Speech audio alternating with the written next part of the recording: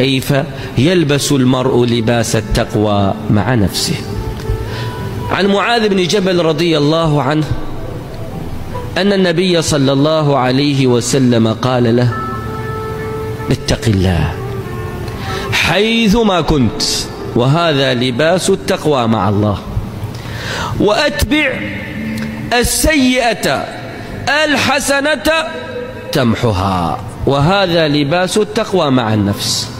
حيثما دعتك نفسك لمعصية ووقعت في المعصية. فاعمل طاعة فورا بتلك الجارحة التي عملت بها المعصية. فإن الحسنة بعد السيئة تمحها. أتبع السيئة الحسنة تمحها. أضرب لك مثال. خرجت عينك من لباس التقوى فنظرت إلى امرأة لا تحل. فارجع لأهلك وانظر. فإن الأخيرة حسنة والأولى سيئة والأخيرة تمحو الأولى. يقول النبي صلى الله عليه وسلم إذا رأى أحدكم من امرأة لا تحل له ما يعجبه فليرجع إلى أهله فلينظر.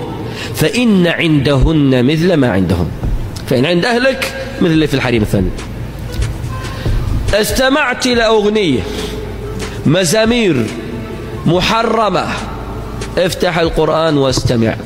إن الحسنات يذهبن السيئات. تكلمت في شخص بغيبة.